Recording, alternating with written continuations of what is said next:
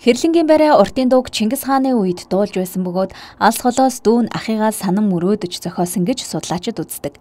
Эртнээс дуулж ирсэн энэхүү дууг уртын дууч Дамчаа шав ардын жүжигчин шар хүүхэндээ зааж сургаснаар түмний дунд түгэн дэлгэрчээ. Дорнод аймгийн Халахгүй сумын уугуул Монгол улсын алдарт уртын дууч Сесэржаагийн дамжаа гэсний нэрэмжит Хэрлэнгийн барай уртын дууны улсын уралдаан 7 дугаар сарын 1-2-ны өдрүүдэд Дорнод аймагт зохион байгуулагдана. Хэрлэнгийн барай уртын дууны улсын уралдаанд одоогоор 60 гаруй хүн оролцохоор бүртгүүлээд байна. Уралдаан мэрэгжлийн ардын авьяас тэнгисэн хоёр ангиллаар явагдах бөгөөд шагналын сан 21 сая төгрөг байна. Уралдааныг иргэд олон нийт ирж үзэж сонирхох боломжтой. Артын дууны улсын уралдааныг бол аймагт анхудаа зохион байгуулж байна. Улсын уралдаан зохион байгуулах болсон гол шалтгаан бол бид одоо нэлээд олон жил энэ өвийн талынхаа төслүүдийг хэрэгжүүлсэн сургалт одоо зохион байгуулсан энэ ажлууд маань нэлээд үр дүнтэй явж байгаа. Тийм ч учраас одоо бас өнөөдөр ингээд ийм улсын уралдааныг хүлээж авахд бэлэн болоод байна л да.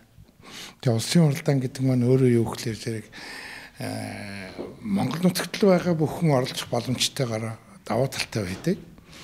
За энэ дээр бол одоо бид нар бүх хүмүүсийг хамраахын тулд мэрэгжлийн болон ардын авьяастай гэсэн хоёр ангиллаар хийж байгаа. Өнөөдрийн байдлаар мэрэгжлийн тулгуурлаас ёо мэрэгжлийн уртын дуучин бол нэг 15 орчим хүн бүртгэгдсэн байна. А ардын авьяаст нэг 47 8 хүн бүртгэгдсэн байна. За ингээд нийтдээ нэг 60 гаруй хүн энэ уралдаанд маань оролцох нэ, авиас чадвараа сорих нэ. За энэний зохион байгуулалтын хүрээнд бол нэлийн олон ажлууд хийгдсэн. За энэ уртын дууны улсын уралдаан маань өөрөө алдартууч халахгүй нутгийн онгонхөө дамжаа гэсний нэрмжит болж байгаа юм. Тэгээ өнөөдрийн одоо хүмүүс бол дамжаа гэсний тухай нэг сайн мэдэхгүй байгаа. Яг тэгэхээр дамжаа гэсэн бол өөрөө нөгөө халахгүй нутгийн сумын угуул хүн. Тэгээ багтаа ингээд амьдралын ирэхээр нутгаасаа гараад одоо өөр газар амьдэрсэн. А гэвч тэр хүн Монголын урлагийн түүхэнд орж ирэхдээ Доронтой аймгийн халахгүй сумын харьяат алдар туртын дуучин Данчаа гэж огаар орж исэн хүн учраас одоо бид нар төрсөн нутагт энэ хүнийг алдаршуулах хэрэгтэй. Нэгдүгээрт энэ хүний одоо дуулж байсан орын сан бас энд тэгшгэлэх хэрэгтэй. За энэ хүний хувьд бол маш одоо уянга яруу цээл сайхан дуулахаас гадна маш их одоо судалгааны ажил хийж исэн хүн тухайн үедээ. Энэ хүн олон шав төрүүлсэн бас багш хүн. Одоо Монгол Улсын ардын жүжигчин Шархүүхэн багш нь гэж бодохоор ардын жүжигчин төрүүлсэн багш хүн байх нь л гэж ойлгоход бас болно.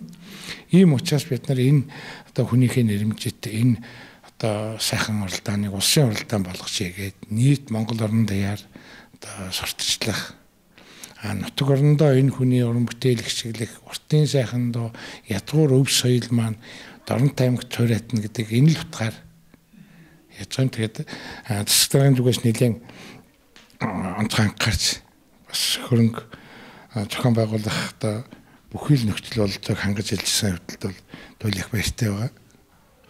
За дамчаа гэж одоо энэ хүн маань одоо одоо халахын хэцүү тоо бангийн одоо сургуульд урлагийн сургуульд одоо сасэрч эцэг сасэрч аа нь бол одоо тухайн сургууль багшилж байсан багш сургууль хүмүүжүүлэгч одоо ийм хөгжмийн өндөр боловсралтай хүн байсан.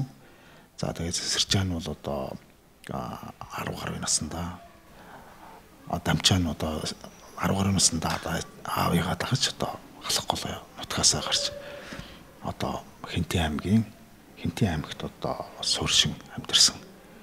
За тэгээд үүний олон сайхан одоо дууг амьдруулж дуулсан. За тэгээд 73 4 наснда одоо Монголын уртын дууны одоо том айцам дуунуудыг одоо Монголын радиод одоо бичиж үлдээсэн байдаг. За тэгээд энэ одоо 20 гаруй дууных нь урын сан одоо энэ хүний дуулах тэгж энэ хүний одоо уртын дууны одоо ямар төвшөнд уртын дуу өвлөн эзэмсэж одоо олгож байсан бэ гэсэн гэдэг нь бол одоо үгээр энэ цагт бол одоо энэ уртын дууны судлаачид сонирхогчдоо хөгжим судлаачид бол одоо дүгнэж үнэлж одоо гэж явдаг Уртын дууч Дамжаа гэсний нэрмжит Хэрлэнгийн барай уртын дууны улсын уралдааны хүрээнд зүүн бүсийн уртын дууны өв эрдэм шинжилгээний баг хурал болох юм.